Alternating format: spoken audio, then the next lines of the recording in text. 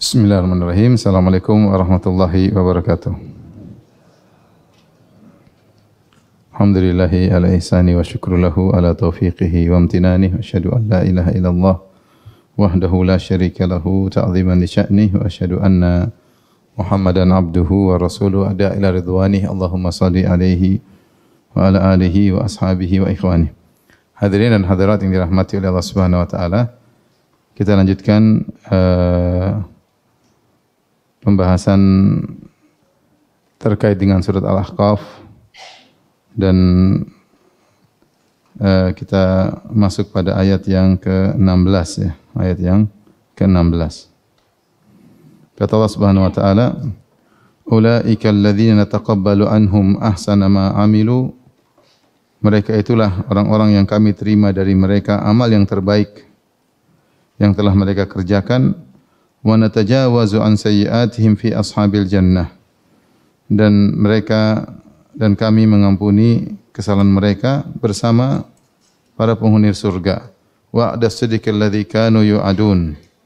Dan itu adalah uh, janji yang benar yang telah mereka dijanjikan. Janji yang benar yang telah mereka dijanjikan kepada mereka. Tapi ayat ini ulaika mereka kata para ulama yaitu kembali kepada orang-orang yang berbakti kepada kedua orang tua dan mendoakan kedua orang tua. Yaitu yang pada ayat 15 sebelumnya Allah berfirman wasainal insana biwalidayhi ihsana. Kami wasiatkan kepada manusia untuk berbakti kepada kedua orang tuanya. Kemudian Allah jelaskan dia berbakti kepada orang tuanya sampai ketika usia 40 tahun. Kemudian dia berdoa Rabbi auzi'ni an ashkura ni'mataka allati an'amta alayya seterusnya yang sudah kita bahas pada pertemuan sebelumnya. Jadi mereka itu kembali kepada orang-orang tersebut. Dan ini dalil bahwasanya ketika Allah berfirman wasainal insana kami wasiatkan manusia maksudnya manusia secara umum. Alif lam lil jins untuk jenis manusia seluruh manusia kami wasiatkan untuk berbakti kepada kedua orang tuanya dan di antara manusia ada dua model. Model pertama adalah manusia-manusia yang berbakti kepada kedua orang tuanya yang di usia 40 tahun mereka berdoa kepada Allah Subhanahu wa taala dengan doa yang sudah kita bahas pada pertemuan lalu dengan doa Rabbi auzi'ni an ashkura ni'mataka allati an'amta alayya. Ya Allah ilhamkanlah kepadaku agar bisa mensyukuri nikmat yang kau berikan kepadaku dan nikmat yang kau berikan kepada kedua orang tuaku dan agar aku bisa amal-amal saleh dan uh, perbaikilah keturunanku. Perbaikilah keturunanku Orang-orang seperti ini yang berbakti pada orang tua, mendoakan kedua orang tuanya, berdoa untuk dirinya, berdoa untuk keturunannya. Bayangkan dia doakan dia untuk dirinya, untuk orang tuanya, untuk apa? Keturunannya. Dan berbakti pada orang tua, mereka ini kata Allah Subhanahu wa taala, "Nataqabbalu anhum ahsana ma amilu." Kami akan terima dari mereka amal terbaik yang mereka lakukan, amal yang terbaik yang mereka lakukan.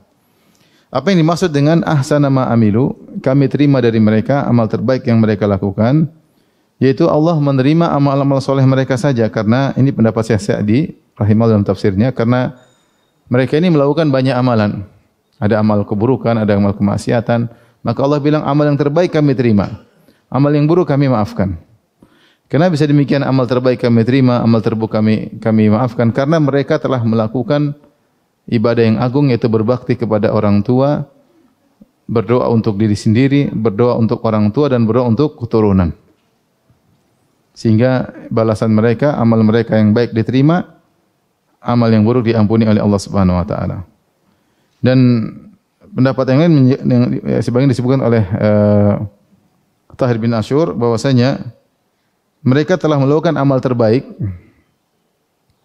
di antara amal-amal baik mereka. Amal baik mereka banyak, tapi amal terbaik mereka yang menyebabkan mereka diampuni oleh Allah Subhanahu wa taala adalah mereka berbakti kepada kedua orang tua dan doa mereka agar bisa bersyukur kepada Allah dan doa mereka meliputi untuk orang tuanya, untuk diri mereka dan untuk keturunan. Ini menekan kepada kita adalah disunahkan seorang berdoa untuk dirinya, untuk orang tuanya dan juga untuk anak keturunannya. Waslih li fi dzurriyyati ya Allah luruskan perbaiki anak-anakku ya. Maka dengan sebab amal terbaik tersebut ini merupakan amal terbaik, mendoakan orang tua, mendoakan diri sendiri dan mendoakan anak-anak. Maka diterimalah amal mereka wa natajawazu an. Dan kami ampuni dosa-dosa mereka. Ampuni dosa-dosa mereka. Fi ashabil jannah maksudnya mereka dalam uh, bersama penghuni surga. Fi ashabil jannah ini kalau i'rabnya adalah hal hal dari ulaik yaitu ulaika uh, yang yang kami sebutkan di sini mereka dalam kondisi masuk surga. Seakan-akan sebab mereka berbakti kepada orang tua, mendoakan diri mereka, mendoakan orang tua, mendoakan anak-anak membuat mereka masuk surga. Kenapa mereka masuk surga? Karena kami membalas amal kebajikan mereka dan kami memaafkan dosa-dosa mereka. Kalau seorang di, diberi ganjaran atas amal kebajikan dan diampuni dosa-dosa berarti masuk apa? Masuk surga. Sehingga fi ashabil jannah i'rabnya itu ulaik. Jadi dia sahibul halnya ulaika. Ini kalau ngerti bahasa Arab. Jadi fi ashabil jannah adalah hal dan sahibul halnya adalah ulaik. Mereka di surga sedang menjelaskan tentang kondisi orang-orang yang Allah sebutkan dibalas kebaikan mereka, diampuni dosa mereka, itu mereka masuk surga dalam kondisi masuk surga. Kemudian kata Allah Subhanahu wa taala, wa'da sidq alladhi kanu yu'adun. Sebagai janji yang benar yang telah dijanjikan kepada mereka. Adapun wa'da sidq di sini mansub dia adalah hal dari nataqabbalu anhum ahsana ma ilu ma amilu wa natajawazu an sayiatihim yaitu kami terima amal mereka dan kami ampuni dosa-dosa mereka. Kenapa? Karena ini merupakan wa'da sidqi uh, janji yang benar yang mereka pernah dijanjikan sebelumnya. Ini ayat ini memotivasi kita untuk berbakti kepada orang tua. orang tua sudah meninggal tetap kita berusaha berbakti dengan cara-cara bakti kepada orang tua yang sudah meninggal dunia seperti mendoakan kepada orang mendoakan orang tua, kemudian misalnya bersilaturahmi dengan uh, kerabat orang tua yaitu bibi, tante, paman yang kita enggak bisa berkerabat dengan mereka kecuali karena orang tua kita. Jadi menyambung kerabat juga adalah bentuk bakti kepada orang tua, berbuat baik kepada teman-teman dekat orang tua. Orang tua sudah meninggal, berbuat baik kepada teman-teman dekat orang orang tua ya. Sebenarnya dalam hadis Ibnu Umar, Ibnu Umar berbuat baik kepada anaknya teman dekat Umar. Jadi, ketika Ibnu Umar berjalan tiba-tiba melewati seorang Arab Badui, maka Ibnu Umar kasih sorbannya, terus Ibnu Umar suruh dia naik ontanya. Maka orang-orang heran, siapa ini Ibnu Umar? Ya Arab Badui, kenapa kau muliakan? Kata Ibnu Umar, sungguhnya bapak dia dulu teman Umar, teman bapakku. Rasulullah SAW bersabda, Inna min abarril bir uh, silatu wuddi uh, abihi ba'dama ba'da an yuwalli ba'da an yuwalliya. Di antara bentuk berbakti kepada kedua orang tua adalah berbuat baik kepada teman bapak setelah bapak meninggal dunia. Setelah bapak meninggal dunia. Jadi ternyata Arab Badui ini bapaknya dulu, temannya bapaknya, temannya Umar, bapaknya Ibnu Umar. Maka Ibnu Umar ketika tidak bertemu dengan temannya Umar, dia bertemu dengan keluarga temannya Umar bin Khattab, maka dia baikin dan dia berharap mendapat pahala bakti kepada Umar. Maka demikian kalau kita masih punya orang tua kita sudah meninggal dan dia punya teman dekat yang kita tahu dulu teman ini dekat sama ayah kita dalam kebaikan maka kita baikin. Sama dengan uh, ibu kalau kita tahu ibu punya teman dekat dulu yang amanah, teman yang setia, yang baik. Kalau ibu sudah meninggal kita baikin teman ibu tersebut, ya. Teman ibu tersebut itu bentuk bakti kepada orang tua setelah meninggal. Dan di juga setelah uh, di antara bentuk bakti juga adalah kita menghajikan, mengumrohkan, bersedekah atas nama uh, orang tua. Yang paling terbaik adalah mendoakan orang tua, terutama setelah setiap sholat lima waktu. Setiap sholat lima waktu mendoakan kebaikan untuk orang orang tua. Maka siapa yang melakukan bakti kepada orang tua semasa orang tua hidup maupun sudah meninggal dunia, Kemudian dia mendoakan dirinya agar pandai bersyukur. Dia mendoakan kedua orang tuanya, mendoakan anak-anaknya, maka dia telah melakukan amal terbaik. Dia telah melakukan amal terbaik. Dan dijanjikan kepadanya untuk diterima amalnya dan diampuni dosa-dosanya. Ini di antara ayat yang menjelaskan tentang agungnya berbakti kepada orang tua. Karena menurut uh, Tahir bin Ashur, Allah menamakan amal tersebut dengan ahsana ma amilu, yaitu amal yang terbaik. Amal yang yang terbaik. Kemudian setelah itu kita masuk pada ayat yang ke-17. Pada ayat ini Allah bercerita tentang jenis manusia yang lain yaitu yang durhaka kepada orang tua. Yang durhaka kepada orang tua. Orang tuanya beriman dan anaknya durhaka. Allah berfirman, "Walladzi qala liwalidayhi uffil lakuma." Dan ada yang mengatakan wadhkur dan ingatlah walladzi qala liwalidayhi yaitu walladzi di sini uh, apa namanya? Uh, mansub mansub kali maf'ul bi dari fi'il yang mahdzuf yaitu wadhkur alladzi qala liwalidayhi dan ingatlah tentang seorang anak yang berkata kepada kedua orang tuanya Ufil lakuma, ya. Ah, uf itu maksudnya cih. Uf adalah kata teringan untuk menunjukkan kejengkelan. Ah, cih. Kata paling rendah untuk menunjukkan kejengkelan. Dan mengatakan ah kepada kedua orang tua adalah durhaka. Sebagaimana Allah sebutkan dalam surat Al-Isra, kata Allah Subhanahu wa taala, uh, apa uh, wa'budullah wa la tusyriku bihi syai'a wa bil walidaini ihsana imma yablughanna indakal kibara ahaduhuma aw kilahuma fala taqul uffin kalau kedua orang tua sudah mencapai masa jompo salah satunya atau kedua-duanya keduanya atau salah satunya maka jangan berkata kepada mereka berdua uf ah uf adalah adna kalimatin litadhajjur. Itu suatu perkataan yang paling ringan yang menunjukkan kejengkelan. Menunjukkan kejengkelan pada orang tua adalah durhaka. Apalagi lebih daripada itu ya.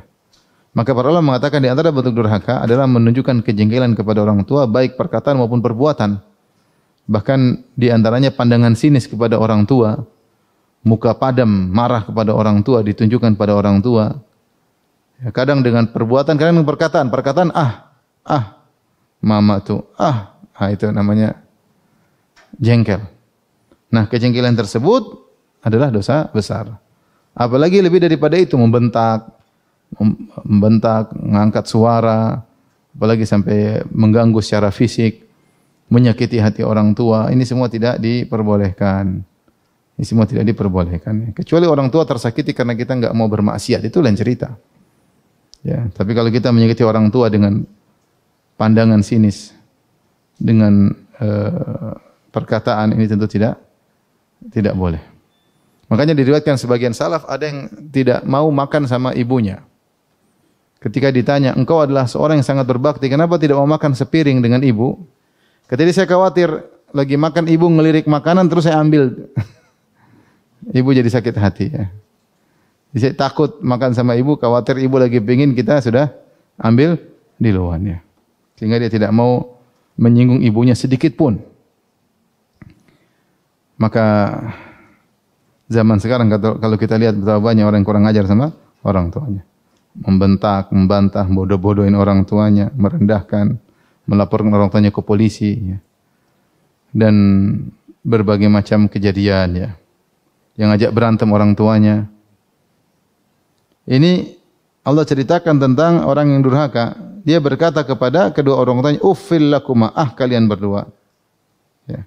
Ataidanini an ukhraja wa qad khalatil qurunu min qabli.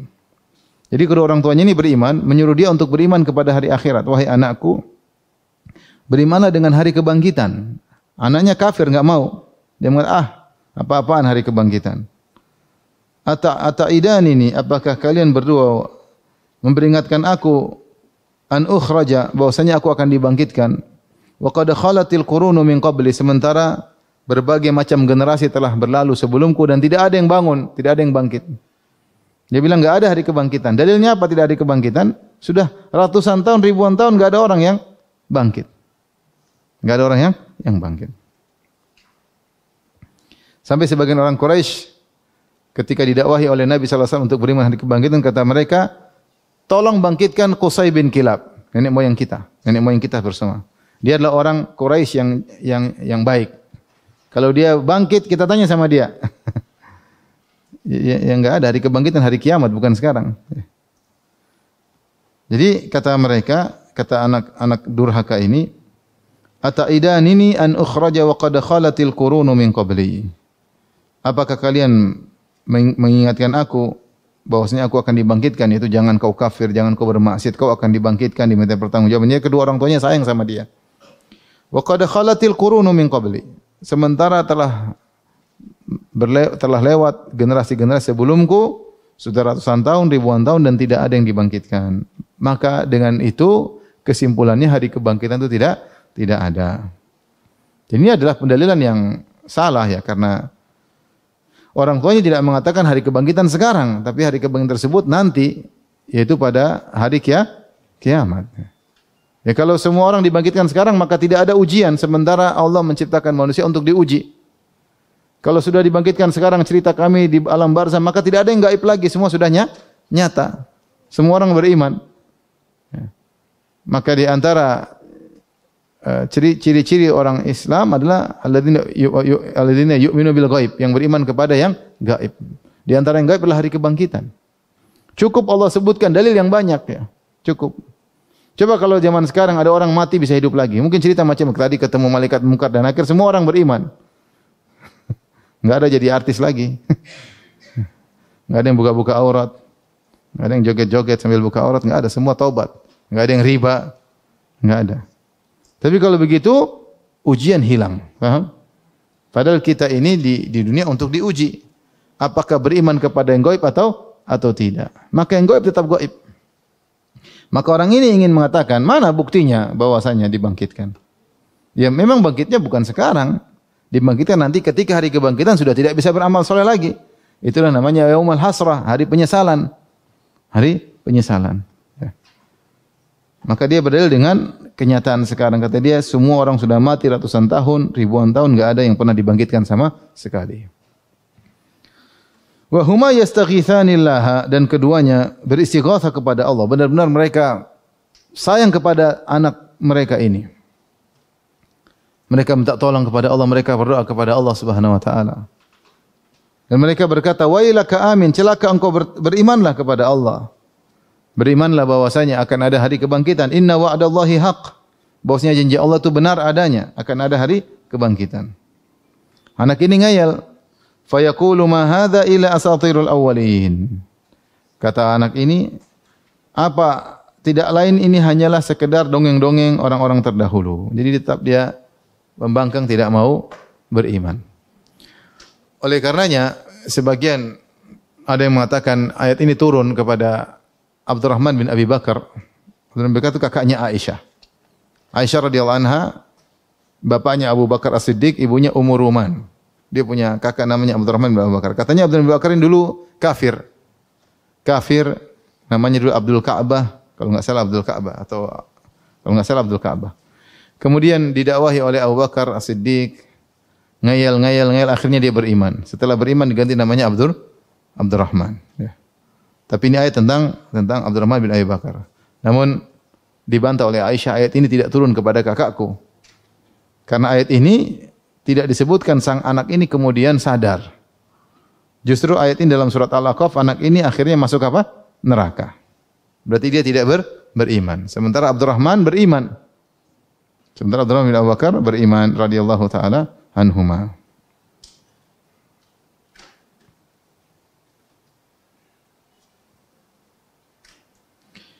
Lihat bagaimana kedua orang tua yang sangat sayang kepada anaknya berusaha mendakwai anaknya sampai istighatsah. Istighatsah itu benar-benar memohon pertolongan kepada Allah agar anaknya dapat hidayah. Allah kasih hidayah enggak anak ini? Tidak. Semua kembali kepada hikmah Allah Subhanahu wa taala. Sebagaimana Nabi SAW begitu sayang kepada pamannya Abu Talib, sangat-sangat sayang. Bahkan Abu Talib seperti ayahnya sendiri. Bahkan Abu Talib memperlakukan Nabi lebih daripada anak-anaknya. Abu Talib sayang kepada Nabi lebih daripada anak-anaknya. Sampai dia pasang badan, rela mati untuk membela Nabi Muhammad SAW. Rasulullah SAW tidak tidak kurang-kurangnya mendakwahi pamannya, berusaha mendakwahi, mendakwahi, mendakwahi. Sampai di akhir hayatnya. Ternyata pamannya tidak beriman. Karena yang menentukan iman atau tidak siapa? Allah. Makanya Allah mengatakan setelah itu turunkan ayat, Innaka la tahdi man ahbabta. Kau tidak bisa beri petunjuk kepada orang yang kau cintai. Sampai Allah sebutkan Abu Talib sangat dicintai oleh Nabi Muhammad SAW. Namun kau tidak bisa beri petunjuk kepada Abu Talib. Walakin Allah yahdi man yasha, tapi Allah beri petunjuk kepada siapa yang Allah kehendaki. wa huwa a'lamu bil muhtadin dan Allah lebih tahu siapa yang berhak mendapatkan hidayah. Nabi Muhammad SAW tidak bisa dengan sekuat tenaga berusaha berulang-ulang dengan akhlak yang mulia dan pamannya sudah tahu dia benar. Artinya tinggal satu poin dikit aja. Bukankah pamannya telah berkata, "Walau qad alimtu bi anna dina Muhammadin min khairi adyanil bariyati dina, walaula al-malamatu wa hadharu masabbatin lawajadta lawajadtani samhan bidzaka mubina." Sungguh aku telah tahu agama yang terbaik di antara seluruh agama yang ada. Jadi pamannya ini kan orang besar. Abu Talib suka berdagang ke sana kemari. Dia tahu agama Majusi ada, dia tahu agama Yahudi ada, dia tahu agama Nasrani ada. Dia tahu agama ber, penyembah berhala juga ada. Dia tahu agamanya ponakannya Muhammad. Dan dia bilang, saya sudah tahu agama yang terbaik di atas muka bumi ini agamanya ponakanku Muhammad. Kalau bukan saya takut dicela dan dicerca. Jadi bahan omongan orang-orang Quraisy. La wajadtani samhan bidzaka mubina. Sungguh kau akan dapati aku sudah menerima agama tersebut dan terang-terangan. Tapi dia takut dicerca, makanya dia meninggal dalam kondisi musyrik. Ya. Jadi maksud saya, usaha Nabi sudah full, tinggal dikit lagi Abu Talib masuk Islam, tinggal ngomong la ilaha illallah. Sampai Nabi berkata, "Ya ammi, kul la ilaha illallah kalimatan uhaju laka biha indallah." Wahai pamanku ucapkan la ilaha satu kalimat yang aku akan membela engkau, aku akan membela engkau, berhujjah di hadapan Allah untuk membela engkau. Seandainya Abu Talib mengucapkan la ilaha illallah, sebenarnya mengatakan mungkin dia lebih baik daripada Abu Bakar dan Umar. Mungkin lebih baik daripada Abu Bakar dan dan Umar. Tapi dia tidak mengucapkan la ilaha illallah. Ya. Sampai Ibnu Katsir berkata, seandainya tidak dilarang kami pun kami pun akan mendoakan siapa? Abu Talib. Karena jasa dia sangat besar. Sehingga dakwah berkembang. Siapa yang jaga Nabi? Abu Talib ya. Jasanya sangat luar biasa. Tapi karena dia tidak beriman, kita tidak boleh mendoakannya. Jadi dia di tangan Allah SWT. Dua, dua orang tua ini sampai Allah mengatakan wa huma yastaghitsanillah. Mereka beristighatsah, ya Allah beri hidayah kepada anakku, ya Allah, ya Allah, ya Allah. Tapi hidayah di tangan Allah. Sebagaimana Nabi Nuh alaihissalam tidak kurang-kurangnya mendakwahi anak dan istrinya. Sampai di titik kesempatan terakhir. Sang anak sudah ombak besar. Nabi Nuh berkata, "Ya bunayya arkam ma'ana wa la takum ma'al kafirin." Wahai anakku, naiklah bersama kami. Jangan masuk ikut orang-orang kafir. Sudah naik aja dulu. Anaknya masih ngeyel di situ sombong dan angkuh. Qala sa'awi ila jabali ya'simuni minal ma'. Aku akan sampai di puncak gunung yang tidak akan terkena ombak. Nabi Nuh bantah lagi. Qala la asimal yauma min amrillah illa man rahim. Tidak ada yang selamat kecuali yang dirahmati oleh Allah Subhanahu wa taala. Tapi anaknya tetap ngeyel. Akhirnya hala bainahumal mauju fakana minal mughraqin. Ada ombak akhirnya meninggal dunia. Jadi benar kita berusaha mendakwahi orang yang kita cintai semaksimal mungkin sampai kita beristighatsah kepada Allah. Dan semua usaha tersebut tidak sia-sia. Usaha Nabi Muhammad untuk mendakwahi pamannya tidak sia-sia. Tetap berpahala di sisi Allah. Usaha Nabi Nuh mungkin ratusan tahun dakwahi anaknya, istrinya juga tidak sia-sia ada pahala di sisi Allah Subhanahu wa taala. Maka kita dakwahi orang yang kita cintai, tapi hidayah di tangan Allah. Bukan di tangan kita. Bukan di tangan Muhammad SAW, bukan di tangan Nabi Nuh, apalagi kita. Yang bisa kita lakukan hanya berusaha dan berusaha. Keputusan tetap di tangan Allah Subhanahu. Lihat kedua orang tua ini ya berusaha payah untuk menasihati anaknya, tapi anaknya tetap kafir. Maksudnya subhanallah Allah berikan berikan kisah-kisah agar apa namanya ketika mengalami sebagian kita hal seperti ini kita punya uswah, punya teladan. Ibrahim alaihissalam saya enggak sama bapaknya? Saya enggak Ibrahim sama bapaknya? Sayang. Tapi bapaknya tidak bisa dapat hidayah. Ibrahim kurang apa? Akhlaknya mulia, penyabarnya. Sampai Allah mengatakan apa namanya? Halim, lah halimun. Itu sangat sabar. Tidak suka marah-marah Ibrahim alaihissalam. Kalau ada orang maki-maki dia, dia cuma bilang Allah yahdik, semoga Allah beri hidayah kepadamu. Ayahnya marah-marah, ancam untuk dirajam, dia mengatakan salamun alaik, keselamatan bagi engkau ayahanda. Satu negeri semua ingin bakar dia, dia pun tidak marah. Dia pun keluar tidak bilang ya Allah binasakan mereka. Enggak dia keluar pergi begitu saja. Tidak emosian. Sarah marah-marah. Sampai Ibrahim kabur bawa istrinya Hajar dia pun tidak marah-marah. Maksudnya luar biasa. Maksudnya apalagi kurangnya Ibrahim alaihissalam akhlaknya luar biasa tidak bisa beri hidayah kepada apa? Kepada bapaknya. Jadi ini kan sebagian orang kadang-kadang tanya saya Ustaz, apakah enggak bisa bapak saya meninggal musyrik untuk saya doain? Saya sedih sekali. Bilang, iya benar sedih. Siapa yang tidak sedih orang yang dicintai tidak dapat hidayah. Tapi ada uswah teladan bagi kita orang-orang terdahulu. Yang mereka sudah berusaha payah semaksimal mungkin agar orang yang dicintai dapat hidayah ternyata tidak dapat hidayah. Di antaranya dua orang tua ini, subhanallah. Kata Allah, wa huma yastaghitsan. Istighatsah itu doa yang penuh dengan benar-benar pengharapan. Dan keduanya beristighatsah kepada Allah, ya Allah, hidayah beri hidayah kepada anak kami, beri hidayah kepada anak kami. Ya. Mereka berkata, "Wailaka amin." Celaka kau anakku. Berimanlah, akan ada hari kiamat. Inna wa'dallahi haq, bahwasanya janji Allah pasti terjadi. Maka anaknya tetap ngeyel, fayaqulu ma hadza illa asatirul Ini cuma dongeng mama, dongeng bapak. Abi Umi ini cuma do dongeng. Di film juga banyak dongeng Abi Umi. Ini enggak ada ini. Mana kakek-kakek kita enggak ada yang bangkit seorang pun. Sudah ratusan tahun, ribuan tahun enggak ada yang bangkit sama sekali. Ini cuma dongeng, jangan percaya. Malah dia ngeyel. Akhirnya anak ini masuk neraka. Makanya Allah sebutkan ayat berikutnya, dalam uh, ayat yang ke-18.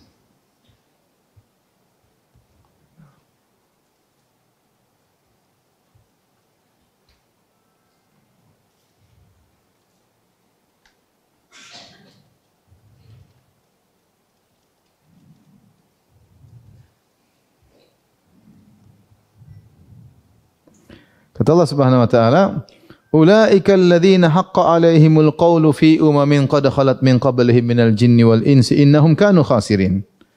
Mereka itulah orang-orang yang telah tetap haqqa alaihimul qawl itu telah tetap bahwasanya mereka bakalan diazab. Fi umamin qad khalat min qablihim sebagaimana umat-umat sebelumnya yang juga telah ditetapkan untuk diazab. Allah takdirkan mereka diazab dengan keputusan Allah dengan hikmah Allah dengan rahasia Allah Subhanahu wa taala menentukan umat-umat ini masuk neraka. Salah satunya anak ini dan yang semisalnya. Makanya ketika Allah berfirman walladzi qala liwalidayhi dan seorang anak yang berkata kepada kedua orang tuanya. Ini bukan berarti satu orang, tapi jenis anak seperti ini. Makanya setelah Allah berkata ulaika mereka. Maksudnya model anak seperti ini banyak yang semisalnya banyak. Orang tuanya beriman, anaknya apa? Kafir. Sudah dinasihati masih ngeyel dengan berbagai macam dalih alibi yang disampaikan intinya tidak mau beriman. Tidak mau beriman. Model seperti ini banyak. Maka mereka inilah orang-orang yang telah tercatat bahwasanya mereka akan diadab bersama umat-umat sebelumnya yang juga dicatat seperti mereka. Minal jinni wal insi dari kalangan jin dan manusia. Innahum kanu khasirin bahwasanya mereka benar-benar merugi. Tapi di sini ada beberapa faedah yang kita sampaikan. Yang pertama, masalah masuk surga dan neraka urusan siapa? Allah. Ini rahasia Allah, enggak ada yang tahu. Enggak ada yang tahu.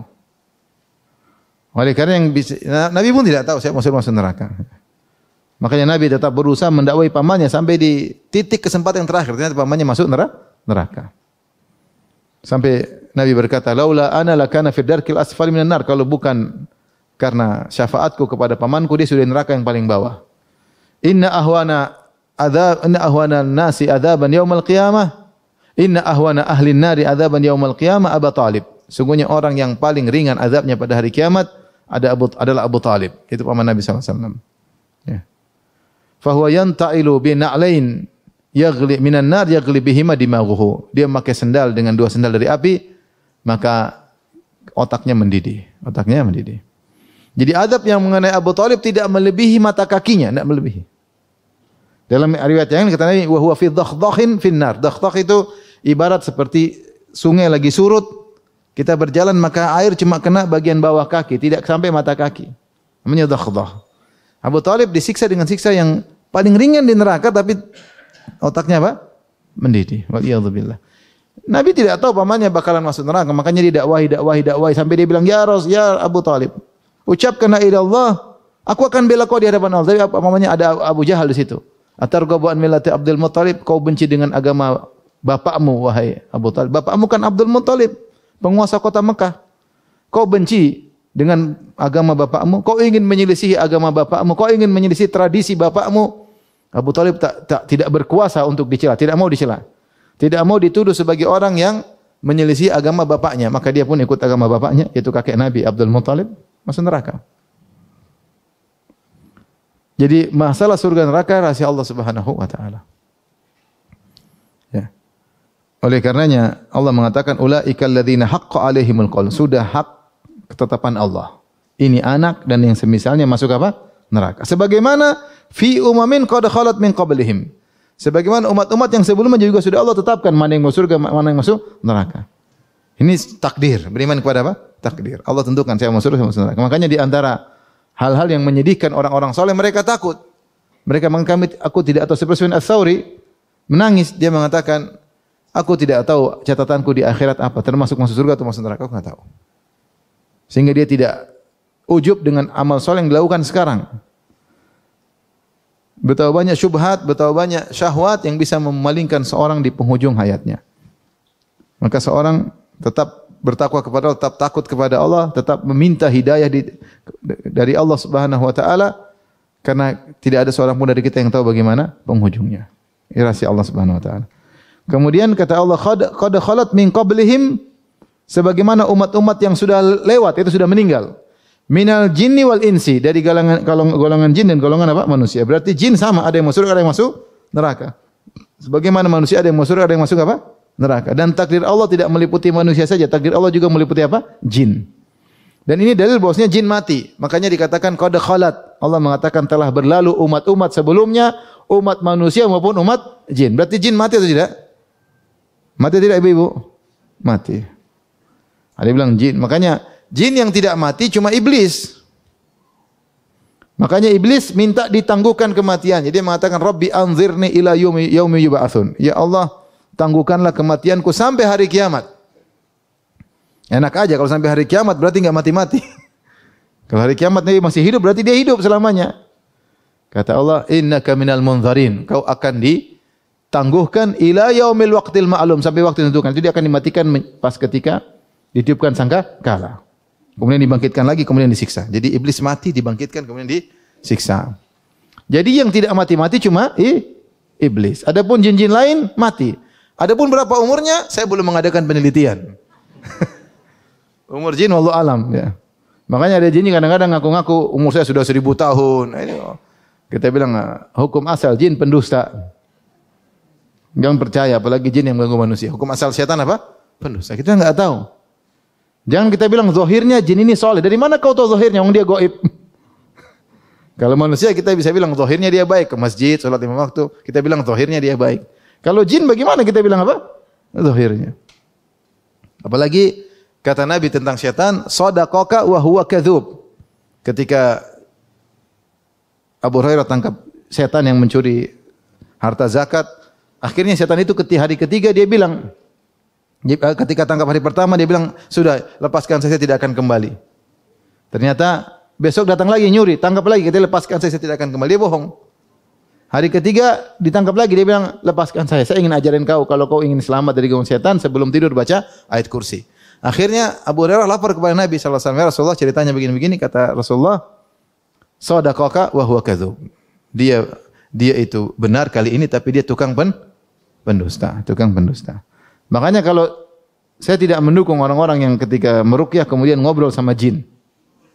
Saya kurang mendukung. Ya, do doain aja kalau dakwah dakwah dakwai. Adapun ngobrol kamu tinggal di mana? Jangan ya. Karena jin itu suka bohong. Suka bohong. Saya pernah dengar ada ada kawan dulu merukyah dan kalau sudah meninggal rahimahullah. Tanya kamu siapa? Saya ini. Saya dulu pernah ketemu Ibnu Taimiyah.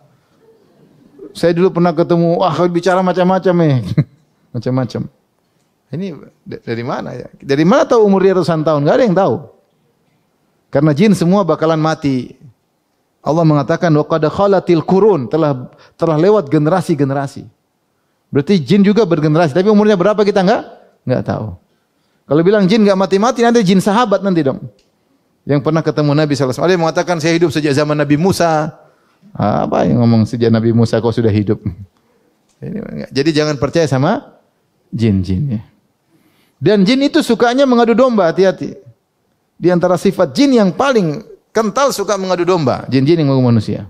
Mengadu domba. Dan itu sudah pengalaman beberapa perukia mereka berkata perkataan yang sama, hati-hati jin suka mengadu domba. Jangan percaya sama sama jin. Nanti kalau tanya-tanya siapa yang nyuruh kamu masuk sini, Oh, itu yang nyuruh padahal dia bohong.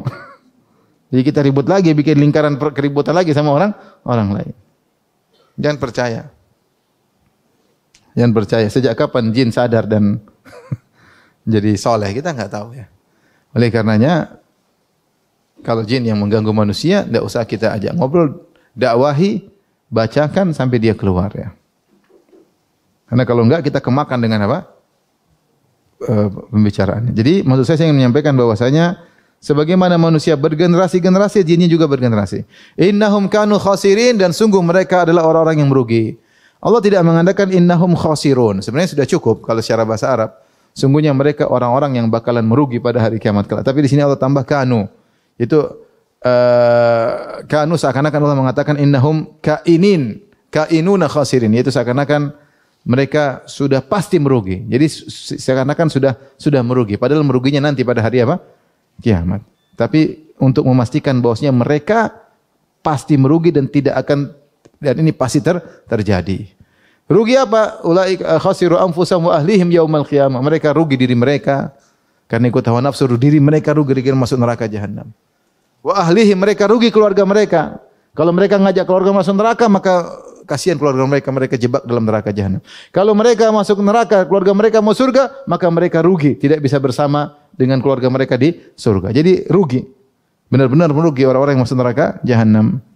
Innahum kanu khasirin. Setelah itu Allah berfirman, "Walikullin" ayat yang ke-19, "Walikullin darajatum mimma amilu." Dan masing-masing mendapatkan derajat sesuai dengan amal perbuatan mereka waliyuwaffiyahum a'malahum wa hum la yuzlamun dan Allah akan memenuhi uh, balasan mereka secara sempurna tanpa dizalimi, tanpa dizalimi. Tapi di sini ayat ini Allah berfirman walikullin darajatim mimma amilu. Kata Allah Subhanahu wa taala masing-masing, masing-masing apa? Baik kelompok yang berbakti maupun anak-anak yang dur durhaka. Baik yang masuk surga fi ashabil jannah atau yang masuk neraka. Ini dalil bahwasanya penghuni surga bertingkat-tingkat sehingga menunjukkan bakti kepada orang tua bertingkat-tingkat dan penghuni neraka juga bertingkat-tingkat menunjukkan kemaksiatan juga durhaka kepada orang tua juga ber, bertingkat-tingkat juga bertingkat-tingkat. Ini dijadikan dalil oleh sebagian ulama bahwasanya orang-orang kafir annal kufar mukhatabuna bi furu'i syariah. Ini dibahas dalam usul fikih. Apakah orang-orang kafir juga dibebani untuk menjalankan hukum-hukum Islam? Jawabannya iya. Mereka dibebani untuk beriman kepada Allah dan beriman kepada Rasulullah dan mereka juga dibebani untuk menjalankan hukum-hukum Islam. Artinya apa jika mereka semakin banyak meninggalkan hukum Islam maka mereka semakin banyak dosanya. Dan semakin banyak semakin dalam azabnya. Makanya Allah sebutkan dalam banyak dalam banyak ayat bagaimana mereka diazab, ditambah azabnya karena semakin banyak syariat yang mereka tidak kerjakan. Contoh, ketika Allah berfirman, "Masalakakum fi saqar?" Penghuni surga bertanya kepada penghuni neraka jahanam, "Apa yang membuat kalian masuk neraka sakar?" Qalu lam nakum minal musallin. Kami dulu tidak mengerjakan apa? Salat. Jadi dia diazab di neraka gara-gara tidak salat. Walam nakun nut'imul miskin. Kami juga dulu tidak beri makan kepada fakir miskin. Ya. Maksudnya tidak mengeluarkan zakat, tidak jadi semakin banyak syariat yang mereka kerjakan, mereka semakin tersiksa. Wa kunna nakhudhu ma'al khaidin wa kunna nukadzibu biyaumiddin. Kami dulu mendustakan hari kebangkitan. Jadi mereka diadab karena masalah usul maupun masalah furu'. Mereka diadab karena tidak beriman dan juga karena tidak menjalankan apa? Syariat. Faham? Semakin banyak syariat mereka tidak kerjakan, semakin rendah neraka mereka, semakin dalam neraka mereka. Allah juga mengatakan fawailul lil musyrikin alladzina la yu'tuna zakata. Celaka orang-orang musyrikin yang tidak bayar zakat, yang tidak bayar zakat. Jadi ada ayat-ayat ayat-ayat yang menunjukkan akan hal tersebut ya. Contoh juga uh,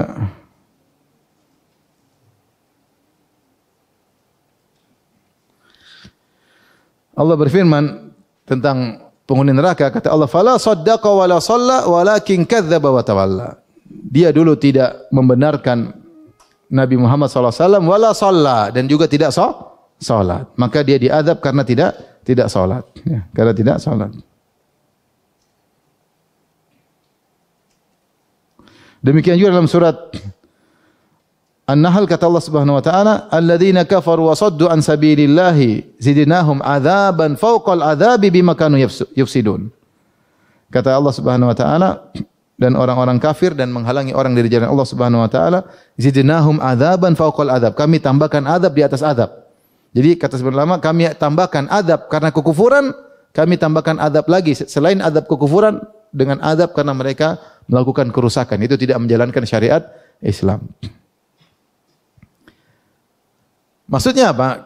Maksudnya seandainya mereka hanya diadab karena kufur, harusnya neraka mereka satu. Tapi kenapa ada derajat-derajat di neraka? Karena selain kekufuran, tingkatan kemaksiatan bertingkat-tingkat. Semakin banyak hukum Islam yang mereka tidak kerjakan, maka mereka semakin parah adabnya. Maka pendapat yang benar di kalangan para ahli usul bahwasanya orang-orang kafir juga mereka diperintahkan untuk menjalankan syariat Islam. Tapi untuk menjalankan syariat Islam mereka harus beriman dulu. Tapi jika mereka kafir dan mereka tidak menjalankan semakin banyak syariat mereka tidak kerjakan maka semakin buruk. Beda orang kafir yang ternyata meskipun kafir tapi ternyata suka beri makan kepada fakir miskin. Tidak bohong. Tidak bohongin orang, tidak zalim. Ini di neraka juga, tapi nerakanya masih mending. Tidak ada yang mending ya. tapi maksudnya yang lain lebih pak, lebih parah. Lebih parah. Lebih parah. Lebih parah. Orang kafir yang baik tidak sama orang kafir yang yang buruk. Abu Talib baik, makanya nerakanya di atas. Masih mending ya. itu pun itu pun otaknya mendidih. Tapi ada orang kafir, sudah zalim, tukang zina, pelit, ya. Nipu orang, wah ini lengkap sudah. Ini azabnya semakin parah, semakin parah. Seandainya yang diadab cuma karena keimanan tidak beriman saja, maka nerakanya harus satu satu satu model saja. Makanya Allah mengatakan walikullin darajat. Ini dalil masing-masing ada derajatnya, yang di surga ada derajatnya, di neraka juga ada derajatnya. Berarti ketika orang-orang kafir juga berderajat-derajat, yang menjadikan mereka derajat berbeda adalah karena terkait dengan furuk syariah, terkait dengan hukum-hukum Islam. Semakin banyak tidak mereka kerjakan, semakin rendah derajat derajat mereka. Faham? Ini sisi pendalilan.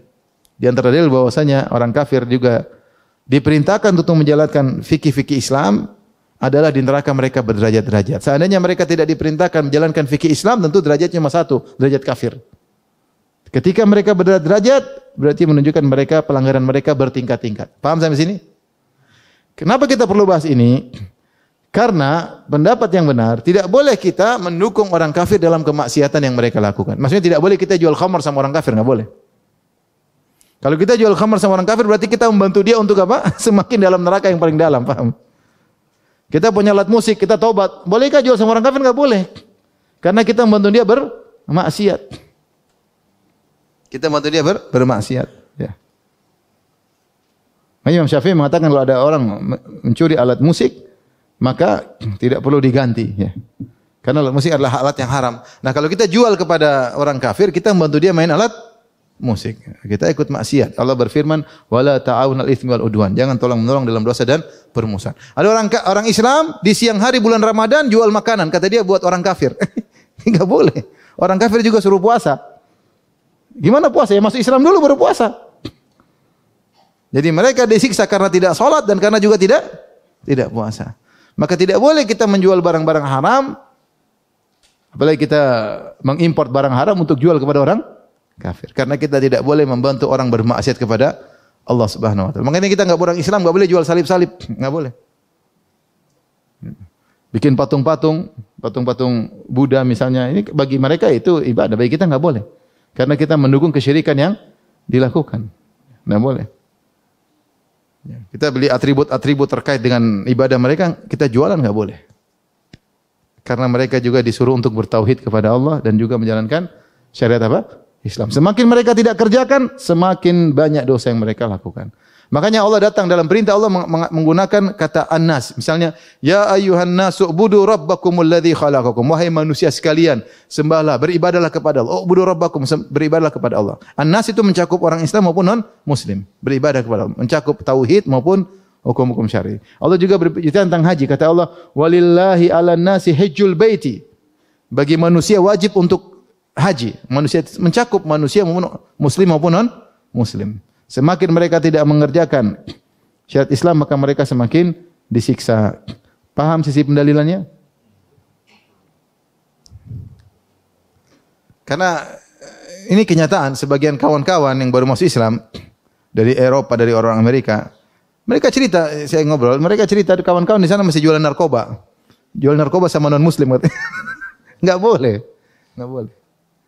Jual narkoba kepada non muslim enggak boleh. Itu namanya bantu dia bermaksiat pada Allah dan kita tidak boleh menolong kemaksiatan karena sejauh mana saham kita dalam sumbangsi kita, partisipasi kita, kontribusi kita dalam melakukan maksiat kita juga dapat getahnya, dapat apa? dosanya. Maka tidak boleh uh, melakukan hal tersebut. Jadi ini dalil bahwasanya berbakti kepada orang tua berderajat-derajat karena Allah berfirman wali kullin darajat. Masing-masing ada apa? Derajatnya. Ternyata berbakti kepada orang tua derajat. Bertingkat-tingkat. Sebab dalam hadis Rasulullah menyebut tentang orang jihad. Kata Rasulullah sallam, uh, "Inna fil jannati mi'ata darajatin a'addaha Allahu lil mujahidin fi sabilillah." Ma baina darajataini kama baina samai wal ard. Kata Nabi SAW, di surga ada 100 tingkatan, 100 tingkatan surga, yang Allah siapkan khusus bagi orang-orang berjihad fisabilillah. Antara tingkat satu yang kedua, seperti jarak antara langit dan dan bumi. Jadi begitu detailnya sampai Allah mengklasifikasikan orang-orang berjihad sampai 100 level. Karena Allah detail, yang jihadnya seperti ini level ini, jihadnya seperti level ini. Berarti Allah benar-benar detail ketika mengklasifikasikan para mujahidin. Kata Ibnu Hajar rahimahullah Fathul Bari, maka demikian juga amal-amal soleh yang lain. Orang-orang sholat tidak satu tingkatan. Orang-orang ahli sedekah tidak satu singkatan. Orang ahli puasa tidak satu tingkatan. Orang-orang yang ahli berbakti kepada orang tua juga tidak satu tingkatan. Ada yang totalitas. Ada yang mendahulukan orang tua daripada dirinya. Yang penting kebutuhan sudah penuh dia dan istrinya, orang tuanya didahulukan. Ada yang seperti itu. Saya kenal orang ada yang bangunkan rumah ibunya dulu baru rumah dia. Ada. Bukan istri anaknya keteteran, enggak. Tidak terlantar, ada rumah anak istrinya tapi dia bangun dulu rumah buat apa? Ibunya. Luar biasa. Yang tidak boleh ibu dikasih makan, istri kurus itu enggak boleh. Tapi kalau istri sudah gemuk aman. sudah gemuk, sudah ada mobil dan macam-macam. Sudah mulai beli obat pelangsing berarti sudah aman. Ya, tingkat ada yang luar biasa, totalis mendahulukan orang tua dirinya ada. Ada yang menyamakan dia dengan orang tua ada. Ada yang orang tuanya belakangan tetap dia berbakti. Kebutuhan dia dulu ber bertingkat-tingkat. Kalau mujahidin bisa 100 level, maka berbakti orang tua juga berlevel-level. Kata Allah, wali kullin darajat. Masing-masing ada derajatnya. Sama durhaka juga bertingkat-tingkat. Ada yang maki-maki orang tuanya. Ada yang berkelahi sama orang tuanya. Ada yang memenjarakan orang tuanya. Ada yang membunuh orang tuanya. Ada. Ada yang tidak membunuh tapi menyiksa batin puluhan tahun orang tuanya nangis melulu. Beda-beda orang ya. Maka durhaka juga bertingkat-tingkat. Penghuni surga bertingkat-tingkat, penghuni neraka juga bertingkat-tingkat. Allah berfirman, "Wa a'malahum wa hum la yuzlamun." Dan agar Allah menyempurnakan ganjaran mereka, amalan mereka dan mereka tidak dizalimi. Ketahuilah orang yang beriman tidak akan didolimi oleh Allah. Tidak ada pahala yang dia lakukan kemudian tidak tercatat Malaikat lupa sehingga tidak ada balasannya. Itu enggak ada. Semua amal kebajikan pasti ada catatannya. Kata Nabi SAW, La tahkiranna minal ma'rufi syai'an walau antalqa akhaka biwajhin talik. Jangan kau meremehkan kebaikan sedikit pun meskipun hanya tersenyum. Apakah dicatat? Ada catatannya. Senyum meskipun tidak dibalas senyum tetap dicatat. Kita senyum sama dia, dia palingkan wajah. Kurang ajar dalam hati. Tapi senyuman kita tetap dicatat. Catat. Jangan remehkan. Mengucapkan salam, bahkan dalam hati pun dicatat. Wa huwa alimun bidzati sudur. Wa'lamu anna Allah ya'lamu ma fi anfusikum fahdharu. Kata Allah ketahuilah Allah tahu apa yang ada dalam hati kalian. Waspadalah kata Allah. Berbagai banyak amalan hati orang tidak tahu. Tidak apa tidak dengki, nerimo, qanaah, husnudzon, tawadhu, tidak merendahkan orang. Orang tidak tahu. Allah yang tahu. Dicatat enggak? Dicatat. Jadi tidak ada yang terlewatkan. Malaikat para pencatat mencatat semuanya, tidak ada yang terlewatkan. Maka tidak ada yang ditolimi. Sama orang di neraka jahanam pun tidak ada yang ditolimi, tidak ada yang ditambah-tambahin azab. Tidak melakukan dikasih azab, tidak ada. Semua yang dia diadab pasti karena perbuatannya apa? Sendiri. Enggak ada dia diadab karena perbuatan orang lain enggak ada. Kecuali perbuatan orang yang tersebut karena sebab dia, itu baru berarti dia yang menyebabkan orang tersebut melakukan, berarti dia dapat dosa MLM atau dosa jariah. Adapun dia tidak ada urusan tahu-tahu orang melakukan dia diadab enggak, enggak mungkin. Enggak mungkin dalam dalam kamus Allah enggak mungkin. Allah tidak pernah zalim. Ya. Kata Allah, "Yahmilu auzarahum yaumal qiyamati wa min auzaril ladzina yudhillunahum bighairi ilm." Supaya mereka memikul dosa-dosa mereka pada hari kiamat kelak dan dosa-dosa orang yang mereka sesatkan itu baru. Dosa-dosa orang yang mereka apa? Sesatkan. Makanya ada perkataan indah dari Al-Qadiyat. Orang yang bahagia itu man mata wa matat sayiatuhu. Dia meninggal dan dosa-dosanya juga berhenti. Yang celaka itu sudah meninggal dosanya masih apa? Jalan, dosa jariah.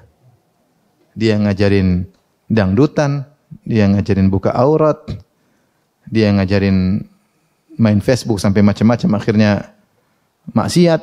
Ya. Karena medsos ini kadang dibuat untuk maksiat, kadang dibuat apa? Kebaikan. Dia ngajarin cara bermedsos, bermaksiat di medsos gimana caranya dia ngajarin. Ya.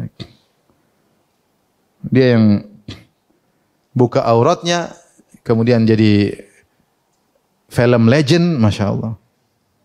Sudah puluhan tahun masih orang nonton auratnya terbuka, legend, legendaris. Waliyahzubillah. Dosa jalan, terus dia udah mati, dosa masih jalan, terus. Maka itu baru dia menanggung dosa-dosa orang lain karena dia sebab dosa-dosa tersebut. Adapun kalau dia tidak tidak punya andil dalam dosa-dosa orang lain, maka dia tidak akan dizalimi. Maka Allah mengatakan wahum la yuzlamun. Mereka tidak dizalimi. Penghuni surga dengan derajat-derajatnya pasti pas, tidak ada yang dizalimi. Ya. Penghuni neraka dengan darokatnya, tingkatan-tingkatnya juga pas, tidak ada yang dizalimi. Baik.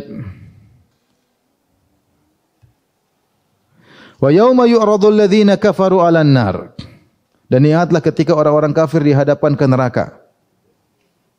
Dikatakan kepada mereka, jadi orang kafir dipaparkan dihadapkan di neraka jahanam. Dikatakan kepada mereka adhabutum thayyibatikum fi hayatikumud dunya wastamta'tum biha.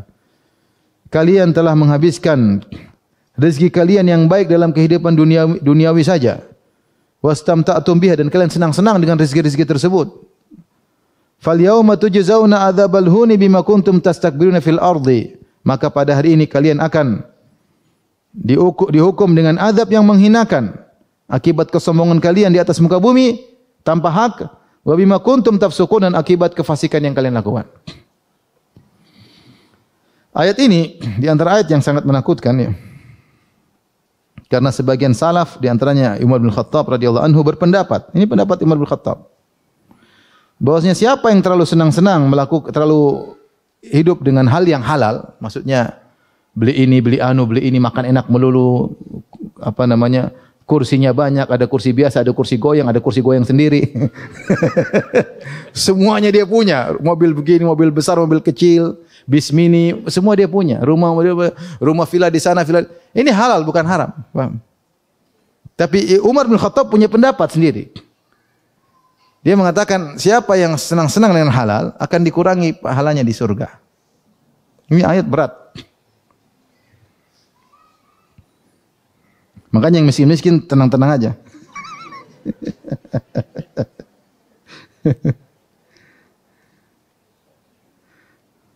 Saya carikan dulu perkataan Umar.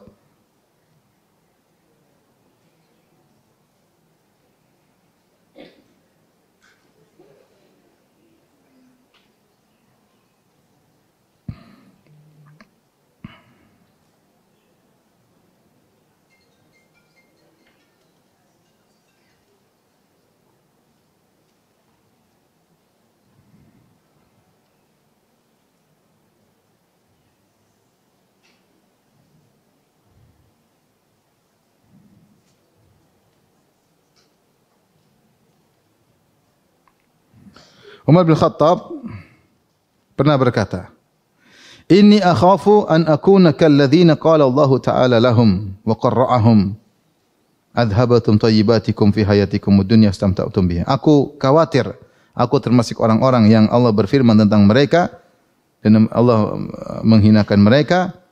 Sungguhnya kalian telah uh, ke, ke, kenyamanan kalian di dunia ya telah kalian habiskan selama di dunia dan kalian telah bersenang-senang, telah menghilangkan kesenangan kalian di akhirat. Ya. Jadi kesenangan kalian di dunia telah menghilangkan telah menghilangkan kesenangan kalian di mana di di akhirat. Sehingga Umar pernah menegur saya lupa seorang sahabat dia beli daging atau apa. Dalam riwayat kata Umar, Kau beli apa ini? Kata dia beli makanan enak. Kata dia apa setiap kau ingin kau beli? Apa setiap kau ingin suatu kau beli? Apa kau tidak khawatir dengan ayat ini? Maksudnya ini fikihnya Umar dan kita tahu Umar bukan sembarang orang. Umar orang yang sangat bertakwa, sangat faqih. Dia pernah jadi kepala negara setelah Abu Bakar dan di zaman dia Islam luar biasa. Kenapa? Karena kefakihannya dia punya pendapat seperti ini. Kata dia terlalu banyak senang-senang mengurangi kenikmatan di mana di di surga. Dan ini juga disebutkan oleh Ibnu Umar putranya. La yusibu abdun minad dunya syai'an illa naqasa min darajati inda Allah. Wa in kana alaihi kariman. Kata Ibnu Umar, tidaklah seorang mukmin mendapatkan suatu di dunia yaitu kesenangan kecuali akan turun derajatnya di sisi Allah. Ini dibahas oleh para ulama. Dibahas oleh para para ulama. Ada ayat seperti itu, ada ayat yang sebaliknya. Ada ayat yang mengatakan Kul man harrama zinatallahi allati akhraja li ibadi wa tayyibati minar rizq. Katakanlah siapa yang mengharamkan ya perhiasan Allah yang Allah berikan kepada hamba-hambanya ya wa tayyibati minar dan rezeki-rezeki yang baik-baik. Ini boleh, kenapa diharamkan? Kenapa diharamkan? Oleh karenanya Ibn, Ibn Hajar rahimahullah dalam uh, penjelasannya itu dalam Fathul Bari jilid 9 106 beliau menjelaskan yang benar adalah perkara yang terbaik tengah-tengah. Karena ayat ini apa yang dilakukan Umar itu adalah sikap wara. Sikap wara, dia khawatir. Siapa yang senang-senang di dunia akan mengurangi apa ganjarannya di akhirat. Dan ini sebagian sahabat seperti itu. Makanya ketika Abdurrahman bin Auf, Abdurrahman bin Auf radhiyallahu anhu, ketika dia puasa, Kemudian diberikan buka dalam Sahih Bukhari ketika di puasa kemudian disediakan buka puasa dia ingat dengan Umar Musa bin Umair.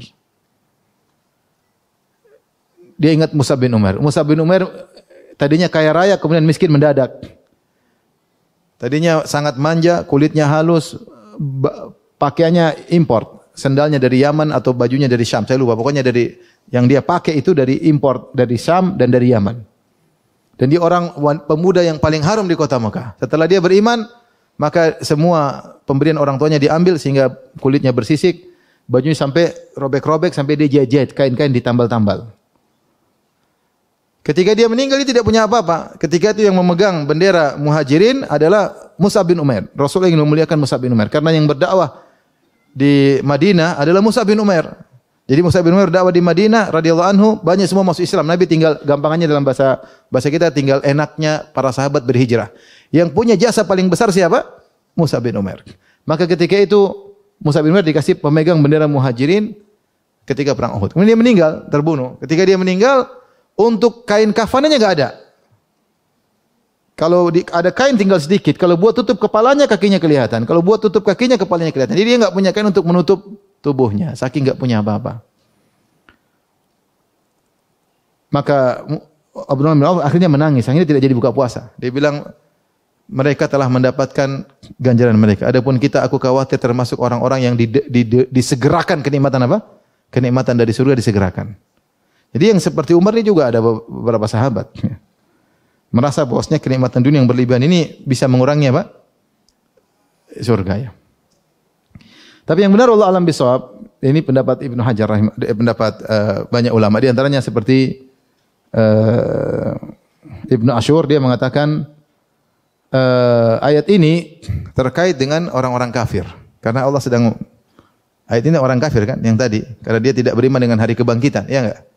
Dan Allah mengatakan di awal ayat wa yauma yu'radul ladzina kafaru. Ketika orang-orang kafir dipaparkan di neraka jahanam. Berarti terkait orang orang kafir. Orang kafir memang tidak hal tidak berhak mereka menikmati kenikmatan dunia.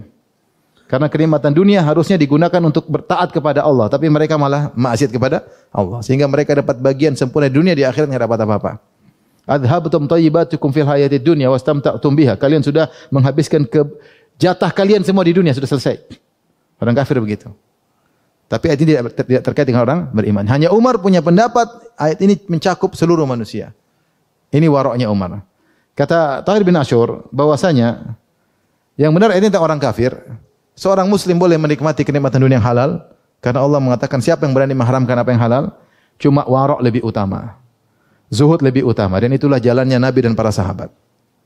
Jalan Nabi para sahabat. Makanya Nabi ketika ada seorang wanita datang ke rumahnya kemudian melihat kasur Nabi yang sangat sederhana, dia kasih kasur baru. Maka Nabi pulang, Nabi tanya, saya dari siapa ini? Dari kata Nabi kembalikan. Kalau saya ingin dunia, Allah akan bukan saya dunia. Kembalikan. Nabi tidak, tidak mau. Zuhud lebih baik. Meskipun boleh kita menikmati yang halal.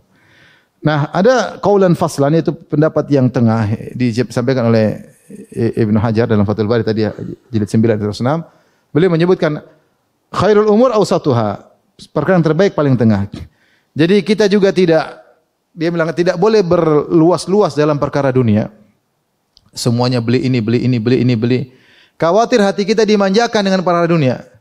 Dan kalau sering dimanjakan perkara dunia, akhirnya jiwa ini nggak bisa kita kontrol. Akhirnya kita masuk dalam ranah-ranah syubhat. Dan ini berbahaya kata dia. Karena sudah terbiasa apa? Nyaman. Sehingga jiwa ini kalau dimanjain, dia ingin dimanja terus. Sehingga ada ada ranah-ranah syubhat akhirnya dia masukin. Kalau naik pesawat maunya bisnis kelas. Kalau ini maunya ini. Kalau wes nggak punya uang kan repot. Akhirnya dia berusaha untuk melakukan hal yang haram atau syubhat. Ini satu, berlebih-lebihan. Yang kedua, kalau dia selalu terlalu sering berlezat-lezat, akhirnya dunia dia akhirat dia kurang. Orientasi jadi bukan akhirat lagi. Sehingga mau sholat malam malas, mau ini malas, mau itu malas, tidak sempat ini karena dia suka senang-senang. Maka berlebih-lebihan dalam hal yang senang-senang juga tidak tidak boleh. Meskipun hukum asalnya halal. Tetapi nanti membuat dia akhirnya cenderung kepada perkara syubhat atau yang kedua membuat dia malas dalam mikir akhirat. Karena sudah senang dengan dunia, kapan mikir akhirat? Padahal kita dituntut untuk mikir apa? Akhirat. Ini tidak boleh. Dan menghalal, mengharamkan semua yang halal juga tidak boleh. Akhirnya tanattu, berlebih-lebihan. Yang itu yang Allah tegur, Allah mengatakan, Kul man harrama zinatallahi lati akhraja li ibadihi. Siapa yang berani mengharamkan apa yang Allah halalkan? Allah halalkan silakan, tapi jangan berlebih-lebihan. Yang terbaik adalah tengah-tengahnya, kata dia. Silakan yang nikmat sesekali, tapi jangan terus-terusan selalu maunya eh, senang-senang terus. Ini bahaya bagi bagi bagi iman, bagi orientasi yang dipikirkan juga akhirnya dunia-dunia terus. Sama dengan ibadah, ibadah terlalu berlebih-lebihan, akhirnya capek sendiri. Kata Rasulullah SAW, Alaikum minal amali ma tutiqun, fa inna Allah la yamallu hatta tamallu. Lakukanlah amal yang kalian mampu. Jangan maksakan diri. Nanti Allah tidak akan bosan sampai kalian bosan apa sen? sendiri. Jangan terlalu kencang, jangan juga malas-malasan, tapi tengah-tengah. Ada ibadah, ada waktu istirahat. Kalau tidak mampu jangan paksakan diri. Sebagaimana ibadah tidak boleh berlebihan, tidak boleh malas-malasan, dunia pun demikian. Jangan dibuka mentang-mentang punya duit banyak, kemudian berlapang-lapang, bersenang-senang, dan juga jangan terlalu pelit, akhirnya tidak menikmati dunia. Tapi demikianlah ini pendapat sebagian sahabat seperti Umar bin Khattab, Ibnu Umar, dan juga disebutkan Abdurrahman bin Auf bahwasanya terlalu banyak kita nikmati dunia khawatir jatah di surga ber berkurang. Itu pun kalau masuk surga. ya artinya kita kontrol-kontrol lah. Masih punya uang banyak juga jangan pelit dan juga jangan mentang-mentang duit banyak apa saja beli ndak juga. Ndak juga. Orientasi kita harus apa? Akhirat. Kalau punya duit lebih, duit lebih ya sedekah, bangun masjid, kasih fakir miskin, kasih para janda, kasih para anak yatim banyak yang mau kita bantu. Kalau enggak punya ya sudah ya. Baik, demikian saja apa yang bisa kita sampaikan. Insyaallah pada pertemuan berikutnya kita akan bahas tentang ayat ke-21 tentang wazkur akha adin tentang kisah Nabi Hud alaihissalam. Demikian wabillahi taufiq. Assalamualaikum warahmatullahi wabarakatuh.